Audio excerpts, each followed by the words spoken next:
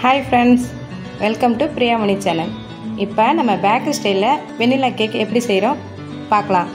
அதுவும் அவனில் இல்லைங்க நம்ம நார்மலாக வீட்டில் உள்ள ஒரு கனமான பாத்திரத்தை வச்சு தான் இப்போ நான் உங்களுக்கு நான் செஞ்சு காமிக்க போகிறேன் இப்போ அதுக்கு தேவையான பொருட்கள்லாம் பார்த்துடலாமா? ஒரு கப் மைதா ஒரு டீஸ்பூன் பேக்கிங் பவுடர் அரை டீஸ்பூன் பேக்கிங் சோடா கால் டீஸ்பூன் உப்பு. இது ஒரு டீஸ்பூன் வெண்ணிலா எசன்ஸ் எடுத்திருக்கேன். ஒரு கப் மைதாவுக்கு நம்ம ஒரு கப் சர்க்கரை வந்து பொடிச்சு வச்சுக்கணும்.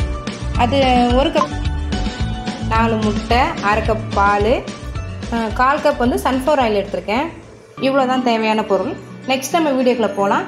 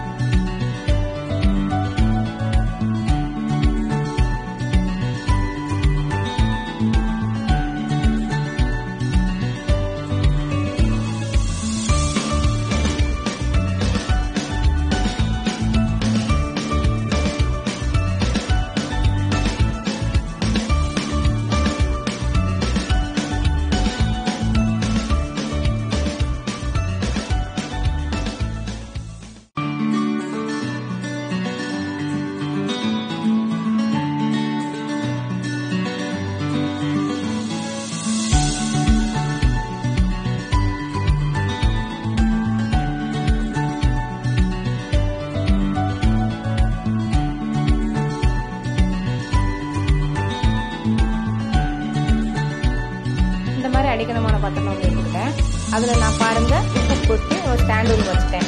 இப்போ என்ன பண்ணணும்னா இதை வந்து இந்த மாதிரி ஒரு மூடி வச்சு வச்சிடலாம். ஒரு ஃபைவ் மினிட்ஸ் ப்ரீ ஹீட் பண்ணி வச்சிடலாம். அதுக்கப்புறம் தான் நம்ம அங்கே கலந்து வச்சுக்க மாவு எடுத்து பாருங்க ஃபைவ் மினிட்ஸ் ப்ரீ ஹீட் பண்ணிட்டேன். நெக்ஸ்ட் மாவு உள்ளே வச்சு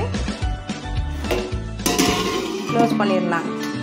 ஒன் ஹவருக்கு அப்புறம் பார்க்கலாம். எப்படின்னு. இப்போ வாங்க கேக் வந்துச்சுன்னு பார்க்கலாம்.